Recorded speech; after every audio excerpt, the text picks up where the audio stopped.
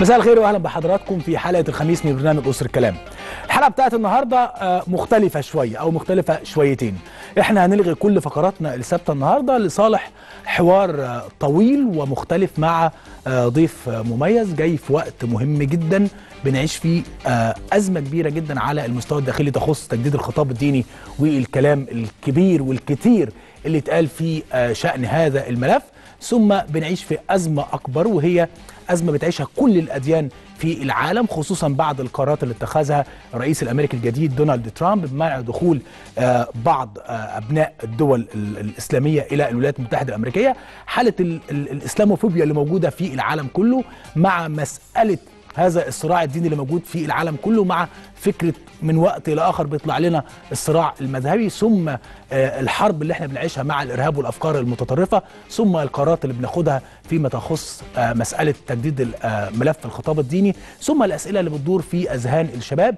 هو ده مجمل ال- المحاور اللي هنناقش فيها ضيفنا النهارده فضيلة الإمام وفضيلة الشيخ مولانا الحبيب علي الجفري في حوار خصيصا وحصريا لأسر الكلام هنعمله على جزئين الحوار ده. الحوار ده النهارده هيكون على جزئين الجزء الأول هيكون آه، فضيلة الشيخ حب- الحبيب علي الجفري في آه، مواجهة أو في ضيافة ثلاثة من ال- الشباب المصريين. هم زميلنا الكاتب ال- الصحفي الأستاذ أحمد ريني وزميلتنا الكاتبة الصحفية الأستاذة سلمى أنور وزميلنا الكاتب آه، والشاعر الأستاذ محمد إبراهيم.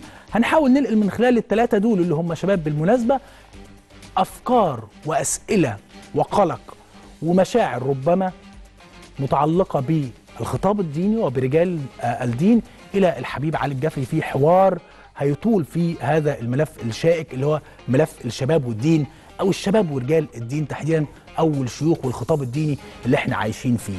الموضوع ده فيه أسئلة كتير جدا ربما يكون الأصلح لهذا الحوار هو الحبيب علي الجفري. الأسباب تتعلق بأنه هو ده الخط اللي شغال عليه بقاله ثلاث أربع سنين في الفترة الاخيره فيما بعد ما زمن ما سمي بثورات الربيع العربي. ربما يكون هو الأصلح لأنه الأكثر اتصالا مع الشباب عن طريق مواقع التواصل الاجتماعي. فبالتالي هيكون حوار أظن وأتمنى انه يكون ثري جدا ومفيد جدا بالإضافة إلى آه، أسئلة حضراتكم من الشباب اللي هتبقى موجودة على الهاشتاج اللي إحنا أطلقناه. اسأل الحبيب سواء على فيسبوك أو تويتر. ده الجزء الأول من الحوار ثم الجزء الثاني هيبقى حوار مع الحبيب علي الجفري تحديدا فيما يخص ملف تجديد الخطاب الديني وأيضا الأسئلة بتاعت حضراتكم اللي هتبقى موجودة على هاشتاج اسأل الحبيب. قبل بقى ما نستقبل آه، ضيوفنا خلينا نتكلم على نقطة في غاية الأهمية امبارح مصر كانت نايمة فرحانة مصر كانت نايمة فرحانة هي بتحتفل بوصول منتخب كرة القدم المصري في آه إلى آه مباراة النهائي في بطولة الأمم الأفريقية المقامة حاليا في الجابون. أجمل المتفائلين فينا وأجدعهم ما كانوش يتخيلوا ابدا إن المنتخب المصري ممكن يوصل للنهائي. ودي نقطة هنتكلم فيها نتكلم فيما يخص الأمل اللي طول الوقت إحنا بنتكلم فيه في هذا البرنامج إنه مهما كانت المصاعب مهما كانت المشاكل لازم يبقى حد فينا أو مجموعة فينا عندها شوية أمل كده مخزناهم في جنب عشان نعرف نكمل بيهم للمستقبل. لكن امبارح كان في حاجة غريبة جدا. سيبك من إنه أداء المنتخب مش كما نظن أو كما نحب. مش هو المنتخب اللي كان في 2006 ولا في 2008 ولا 2010 ولا المنتخب اللي تعب البرازيل ولا المنتخب اللي لعب قدام إيطاليا مباراة عمره. لكن إزاي منتظر من منتخب كرة القدم المصري على مدار خمس ست سنين فاتوا؟ الكرة فيها نشاط شبه معطل. إما بسبب مظاهرات وإما بسبب مخاوف أمنية وإما بسبب حوادث جسام زي الحادثة اللي إحنا بنعيش ذكراها دلوقتي اللي هي ربما تكون المجزرة الكبرى اللي وجع كل الناس من ناحية الكورة وقافلة كل الناس من ناحية الكورة وهم شهداء النادي الأهلي في آه، بورسعيد أو من جماهير النادي الأهلي في بورسعيد. ثم بعدها الدفاع الجوي ثم فكرة حالة التعنت في دخول الجماهير مرة تانية إلى المدرجات. كل الاجواء دي بعدم وجود الجماهير بتوقف آه، كتير.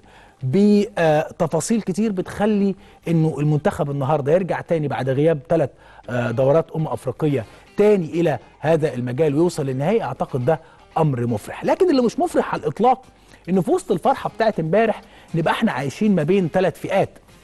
ناس فرحانة لأنها بتحب بلد وعاوز تفرح وناس تانية بتدعي وبتلعب دور العمق والتنظير وقاعدين يكتبوا كلام فيما يخص يتم استخدام الكرة لإلهاء الشعوب. أهو رجعنا تاني نستخدم المنتخب آه المصري لكرة القدم علشان نلهي الشعوب ونفرح الناس والناس تنزل تزيط وتنسى الأسعار وتنسى وتنسى وتنسى.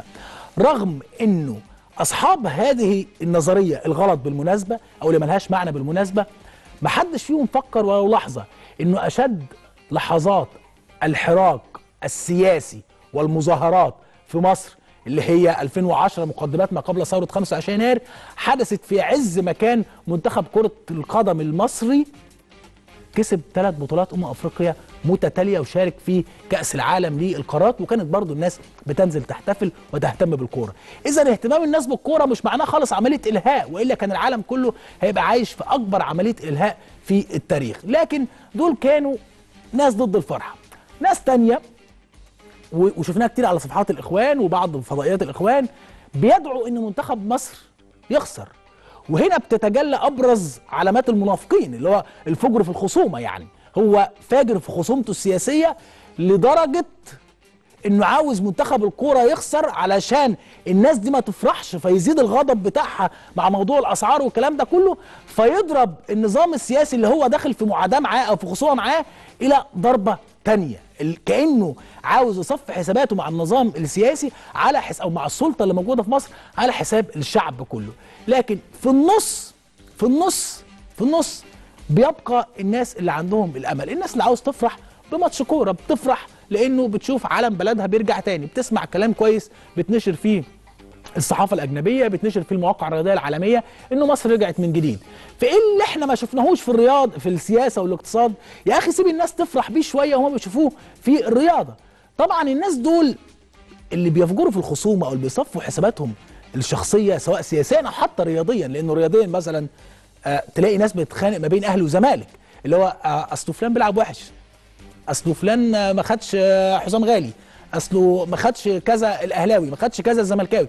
دول برضو حساباتهم اعلى من حسابات البلد زيهم بالظبط زي باسم مرسي. مهاجم متميز لاعب كويس آه راس حربة نادي الزمالك عمال بيعمل مشاكل كل ده في حتة في جنب. لكن كون إنه ما يتمش اختيارك عشان تكون ضمن المنتخب وتشارك في هذه البطولة المهمة فحد يسألك يقول لك هو المنتخب ماشي إزاي ورأيك إيه فتقول له أنا ما بتابعش. ده مش بس فجر في الخصومة ولا عند ولا حقد لا ده كمان في سوء إدارة للنفس إنك شخصية عامة ومش عارف حتى تجاوب على سؤال سهل زي ده. فيحظى باسم مرسي فجأة بكراهية جماهير الأهلي والزمالك. عموما يا رب يا رب يوم الأحد يبقى يوم استكمال فرحة بالنسبة للمصريين ونتمنى إنه اللي بيترتب دلوقتي ما يحصلش.